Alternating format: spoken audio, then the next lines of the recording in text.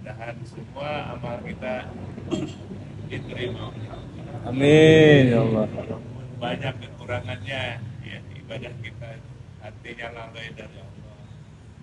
Kurang khusyuk mudah-mudahan Allah ampuni. Amin ya Allah. salah kekurangan-kekurangan kita dari seluruh rangkaian ibadah kita.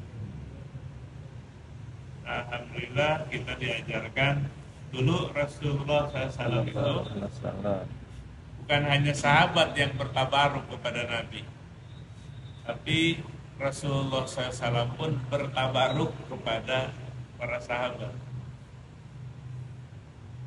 Jadi satu waktu Rasulullah mau berwudu di Masjid Nabawi. Maka para sahabat apakah mau pakai ember baru atau ember yang biasa dipakai sahabat wudu saya memilih pakai tempat wudhu yang biasa dipakai para sahabat. Jadi Nabi mau bertabaruk mengambil berkah dari para sahabat. Jadi bukan hanya sahabat aja yang yang bertabaruk kepada Nabi, tapi Nabi juga bertabaruk kepada para sahabat dan para sahabat bertabaruk satu sama yang lainnya. Tabaruk itu sebetulnya satu dari husnudon baik sangka. Soleh, guru soleh baik sangka. Jadi keluar dari kebersihan hati, dari husnudon baik sangka kepada orang lain. Baik yang bagus baik sangka atau buruk sangka. Baik bertabaruk. Karena itu soleh. Sebab bisa jadi orang ini nggak dikenal kesolehannya, kebaikannya bagi penduduk bumi, tapi kesolehannya dikenal oleh ahli langit seperti Wes Al Korni bajunya cumpang camping, tukang kuli, kuli mengembalakan kambing. Nggak dikenal, dikenal sebagai masyarakat biasa. Tapi Wes Al Qarni dikenal oleh penduduk langit. Dikenal oleh Rasulullah Sallallahu Alaihi Wasallam. Tercium ruhaninya tinggi ya, di hadapan Allah Subhanahu Wa Taala. Ketika Wes Al Qarni tiga hari tinggal di Madinah, ingin berjumpa dengan Nabi tapi takdir tidak berjumpa dengan Nabi. Hanya berjumpa dengan Aisyah radhiyallahu anha. Maka Aisyah bercakap-cakap dengan Uwais al qarni akhirnya pulang lagi al maka Nabi dapat berita dari Aisyah langsung sabda Nabi Umar kalau engkau berjumpa dengan Uwais al qarni minta doanya.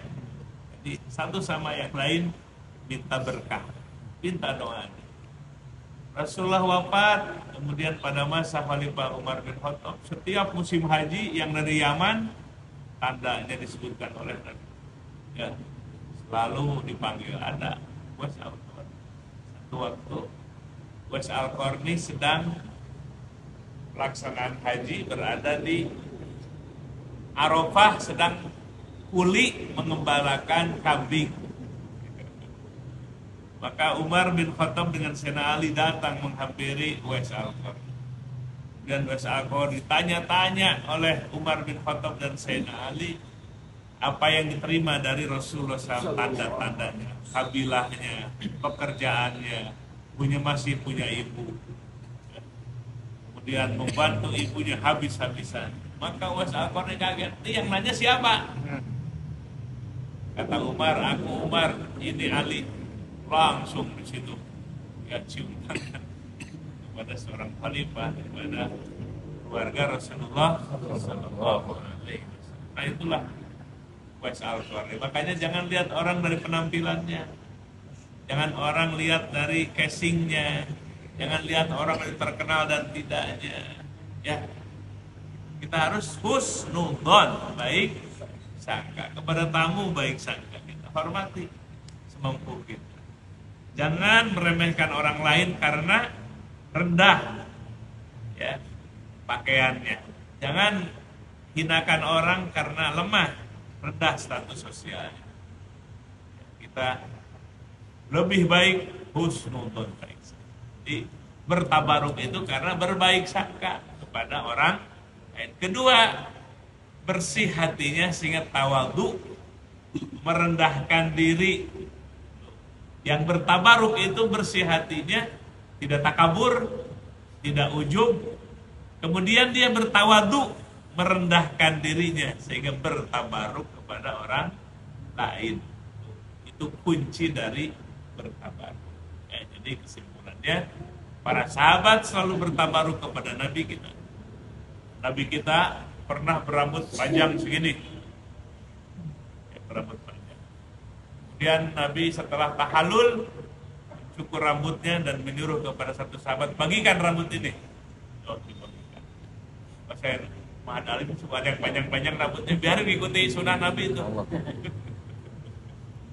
Jadi kalau ada yang rambutnya panjang, biarin itu bagian dari sunnah Nabi. Kemudian datang tahalul, bisa dibotak atau bisa dipotong saja rambutnya. Sunnah. Ya kemudian Nabi pun tadi eh, ada bertabaruk kepada para sahabat. Sahabat dalam kitab yang dikarang oleh Al Habib Imam Az-Zahabi dalam kitab Syiaru A'lam An-Nubala disebutkan sahabat dengan sahabat, tabiin dengan tabiin, ratusan bahkan ribuan para sahabat dan tabiin saling bertabaruk, saling mengambil berkah. Kita juga, ini umurnya lebih tua dari aku, udah cium tangannya. Dia ilmunya lebih daripada aku, dia cium tangannya. Itu tuh merendahkan diri, berbaik sangka, merendahkan diri. Baik gak itu? Eh, baik jiwa yang baik itu. Tapi angkuh, hmm. boro-boro cium tangannya. Jadi ini adalah sunnah yang baik untuk membersihkan hati. Ya, jadi itu inti dari tabar tabar. Mengambil berkah. Karena umurnya udah banyak berarti ibadahnya dibandingkan saya yang lebih mudah tabaru karena ilmunya ilmunya lebih tinggi. Saya mah lebih rendah. Lebih soleh. Tabaruk kita cium tangan. Tabaruk ini ya keturunan orang soleh. Bertabaruk jadi bertabaruk para sahabat dengan sahabat tabiin dengan tabiin. Husnudon baik sangka satu sama yang lain. Kemudian membersihkan hati tawadu. Tidak ada ujub dan takabur. Tawadu. Merendahkan diri. Itu sifat-sifat yang terbaik jiwa yang baik jiwa yang positif. Ya, nah ini apa? Istiqomah kan? Ya, sopah itu bagian dari bertabar tabaruk dan saling menghormati. Ya saling menghormati saling menghargai saling berbaik sangka dan rendahkan diri kita. Ya. saling merendahkan diri kita satu sama yang lainnya. Ya, mudah-mudahan segala amal kita diterima oleh Allah. Hal-hal yang positif kita istiqomahkan.